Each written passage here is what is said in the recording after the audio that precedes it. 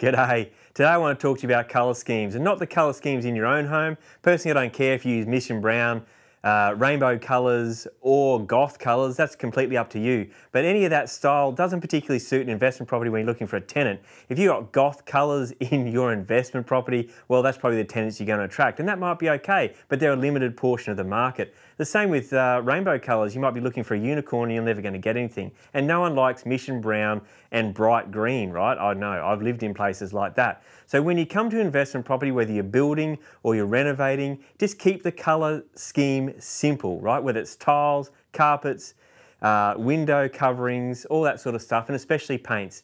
I know you can change paints, but bright colours are still really hard to paint over and they don't go with everything. If you have a standard colour scheme in your property, it's definitely a lot easier to get everything to match, whether it's the tenant's furniture from one place to another or whatever it might be. The other thing too is when it comes to sell, if it's a blank canvas, it's much easier to be able to get that person to think about what they're going to live in that property, what they're going to put in there, how they're going to just reside in there. It's going to be all nice, or the changes that they actually want to make themselves.